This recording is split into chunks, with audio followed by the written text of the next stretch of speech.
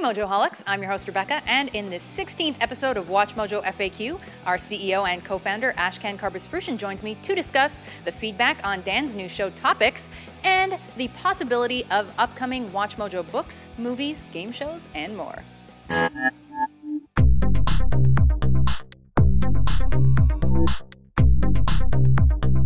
Welcome to Watch Mojo FAQ, episode 16. Joining me as sometimes is our CEO, Ash. Welcome, Ash. How are you? Nice to see you. Not too bad. You're looking kind of tired. Yeah, I was on a red eye from LA, so if my eyes look a bit red, I did not smoke a joint. I'm just a bit tired, but I'm fine and I'm here, and let's get the show on the road. All right. Last week, uh, you explained how we handle rights, and a user had, I think, a very astute follow-up question. Uh, Andrea, Are you being a smartass? I am not being a smartass. I actually thought this was a good question. Andrea MGC asks, uh, does that mean that sometimes you add companies or clips in top 10 lists partially because they've asked to be featured? Uh, does that factor into your decision to add one company over another in your lists? And then you replied, absolutely not. Care to expand? Yeah, that is the truth, the whole truth, and nothing but the truth. No, the, the reason why we mentioned that media companies send us stuff and ask us to promote them is just to show that they largely, by all, for all intents and purposes, support us and approve of what we do. Um, however, as you guys know, you guys determine what we produce to a large extent. And while it's not the only uh, variable, you guys ultimately decide what is on the list as well. Clearly, we research, and then it's rather objective and empirical, uh, but in no way. Now, occasionally, I would say we have 8,000 videos, maybe 80 videos in our history, so a very small percentage, have been sponsored by someone. Uh, but they don't necessarily impact what we feature on them. It just means that it's a tie, it, it ties in with a given brand and they want to promote something uh, and then they sponsor it and we're very transparent. You'll see uh, this, this video is brought to you by someone. Um, the reality is, just to be very clear, we turn down, I know sometimes I'll read in the comments like, oh my God, this was just a cash grab. You know what? Fair comment from your vantage point.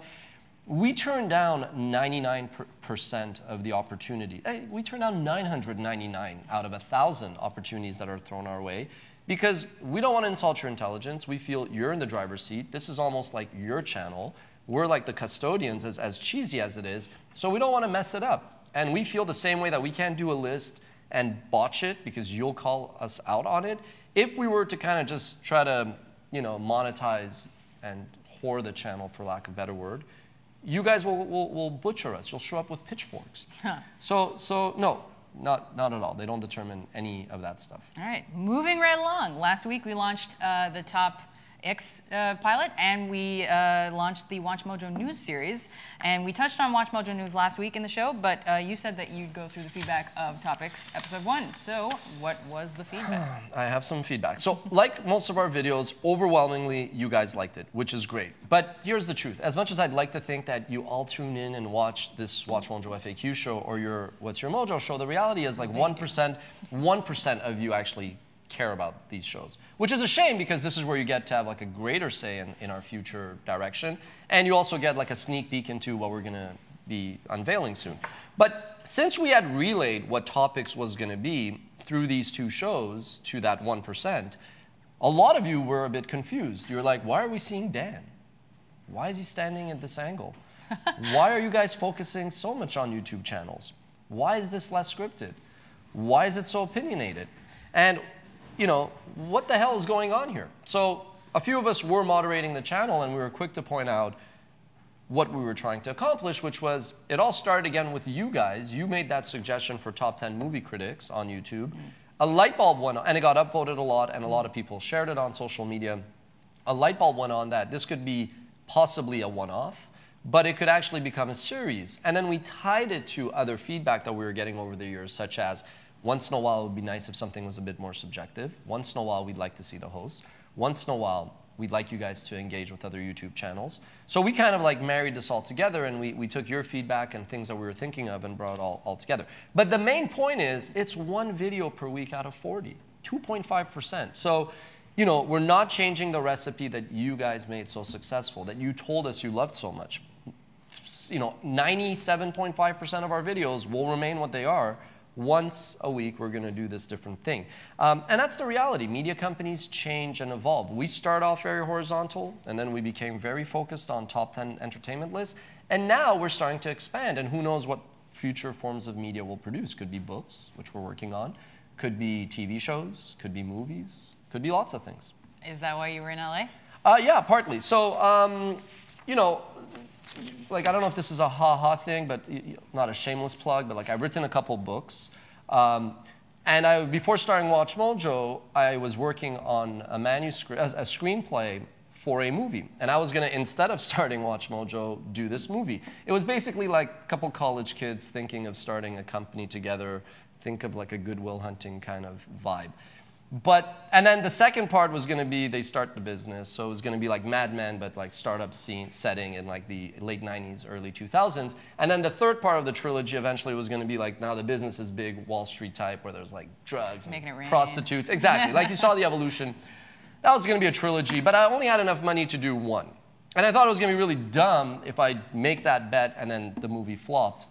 You know, Rocky was fortunate, Sylvester Stallone, he did that. and it was, a, it was a grand slam, so good for him. But that's usually the best way to lose your money and your shirt. So instead, we started Watch Mojo, and the idea was let's produce all this content, build an audience, and then over time, we can go and do books, which we are now. But it won't be the kind of books that I published 10 years ago. It's going to be books based on what makes sense to you guys and the content we produce. And similarly, um, I don't know if that idea I threw out there 10 years ago for the movie is what makes sense for us. But imagine if we were to do a movie where we tap into your wisdom and you guys get to control like you guys com could come up with like a new breed of super villains and superheroes and you could even kind of like i mean we'd have to give you choices so it doesn't become a farce but you guys kind of determine the main superhero what are what are his super strengths and the main villain and it's kind of like you know and then with all of you guys you we could i mean we could do movie clubs there's a lot in, in the works. Uh, like we're even working on a game show so it's just like why because we have a trivia section that you guys actually engage with